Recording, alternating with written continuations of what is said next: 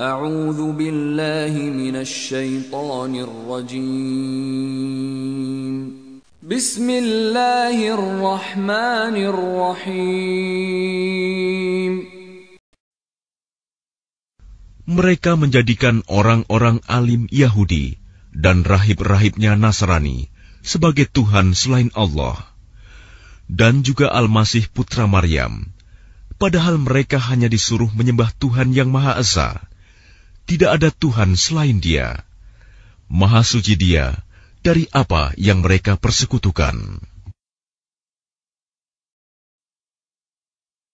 Wahai orang-orang yang beriman, Sesungguhnya banyak dari orang-orang alim dan rahib-rahib mereka benar-benar memakan harta orang dengan jalan yang batil, dan mereka menghalang-halangi manusia dari jalan Allah. Dan orang-orang yang menyimpan emas dan perak dan tidak menginfakkannya di jalan Allah, maka berikanlah kabar gembira kepada mereka bahwa mereka akan mendapat azab yang pedih.